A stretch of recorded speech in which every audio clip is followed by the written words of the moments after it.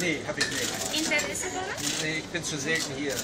Schade, ich hoffe, das ändert sich. Ja, dann muss ich wieder nach Hamburg ziehen.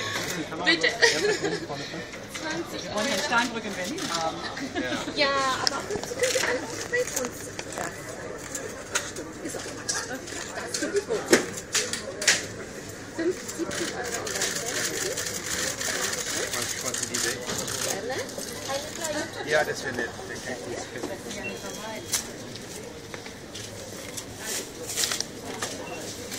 Dann gehen wir. Okay, alles Gute. Danke. Woher sind Sie gebürtig? Ja, sehr gut.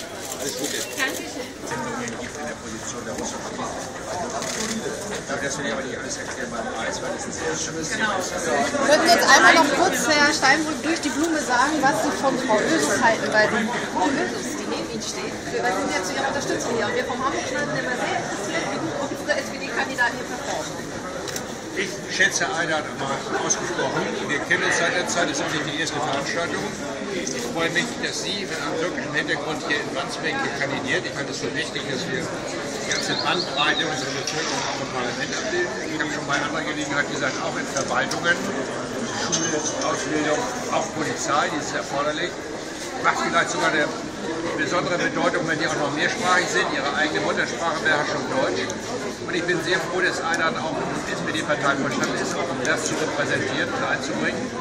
Sie ist eine Frau, die leicht Menschen zugeht, die Sympathie weckt und Sympathie ausschaltet. Kann die SPD immer gut gebrauchen, ne? Ja, mehr, mehr als das, Sie, aber insbesondere auch andere auch.